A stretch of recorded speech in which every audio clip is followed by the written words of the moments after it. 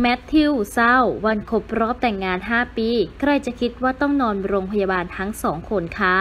ในขณะที่แมทธิวได้เข้ารับการรักษาหลังจากติดเชื้อไวรัสโควิด -19 อยู่ที่โรงพยาบาล เช่นเดียวกับภรรยาที่ได้รับเชื้อจากแมทธิวด้วย และตอนนี้จะต้องรับการรักษาทั้งสองคนทำให้ลูกทั้งสองคนที่ยังเล็กต้องห่างพ่อและแม่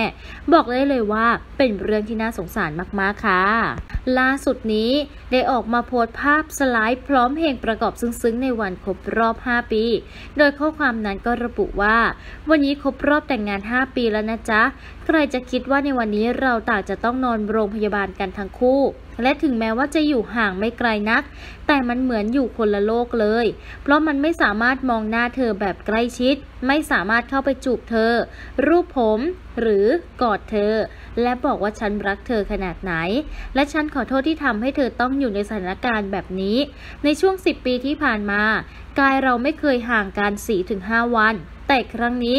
คงจะสัก 3 อาทิตย์ก่อนที่เราจะได้กลับมาอยู่ด้วยกัน แบบนั้นอีกที พร้อมเพียงกันทั้งสองครอบครัว บวกดีแลนด์ บวกกับเดมี่แต่ไม่เป็นไรนะ เพราะเราทำได้ พวกเราเข้มแข็งมาก เราจะสู้กับไวรัสนี้ให้มันหายไปจากครอบครัวเรา รักและคิดถึงเธอและครอบครัวสุดๆ สู้แฮชแท็กโควิด -19 ซึ่งโพสต์ดังกล่าวนั้นก็เรียกได้ว่าทำหลายๆ คนแอบน้ำตาโกรธตามละค่ะ